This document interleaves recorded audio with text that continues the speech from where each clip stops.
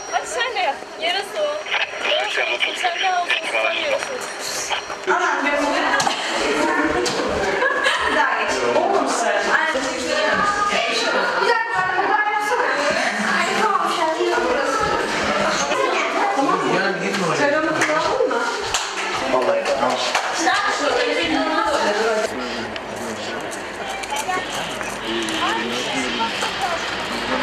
İstanbul'da yaşıyorduk yaklaşık 20 senedir. Artık oralar yaşanmaz hale gelince memleketimizde bir şey yapmayı düşündük. İnternette araştırırken e, diğerlerini gördük. İnceledik yurt içindeki yurt dışındakileri. Eksiklik şey yani birazcık yaşanmışlık evlerin içinde.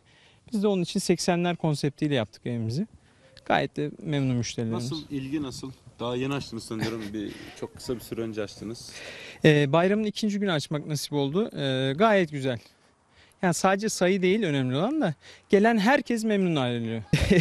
İlk girdiğinde anlatmazsam mantığını yani müze gibi girip çıkıyorlar 5 dakikada. Ama ben mantığını anlatıyorum. Fotoğraf çekmelerine yardımcı oluyorum. Ondan sonra kahkahalar yükseliyor.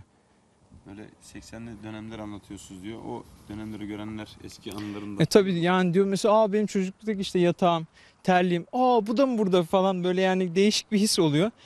Genelde de zaten misafirlerimiz hani 80'ler 90 doğumlu o civarda. Yani çocuklarıyla geliyorlar. Çocuklarına hem kendi geçmişlerindeki eşyaları gösterebiliyorlar. Mesela gırgırımız var içeride. Üstünde tam otomatik yazıyor. yani çok ilginç şeyler, eşyalar var içeride. Tabii tabii benim çocukla kullandığım beşim var. Annemin çeyizinden eşyalar var. Yani hepimizden bir şeyler var. Dedemin kullandığı bazı eşyalar var. Yani o yaşanmışlığı insanlar veriyor. Yani bu yorumu da aldık. Hani ben şuradaki evi gezmiştim. Ama mesela işte bir yerden almış hepsini koymuş. Bizim köyde bir yaşanmışlığı var eşyaların. Kullanılmış eşyalar çoğu. O müşterilerin çok dikkatini çekiyor. Siz de birkaç tane ben çekişsem baksanız onun mantığı o zaman devreye giriyor. Tabii tabii. Şimdi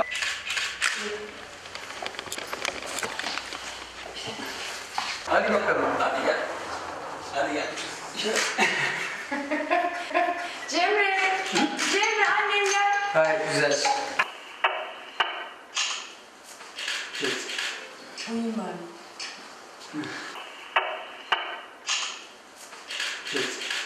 Oyun var. Sen de bir şey. Ha şimdi bir şey olmaz ya. Gel gel gel gel ne yapıyorsun ya? Gel gel gel. mutfakta şurada güzel çıkıyor. Tamam bunu çeksin. Vallahi hep kendi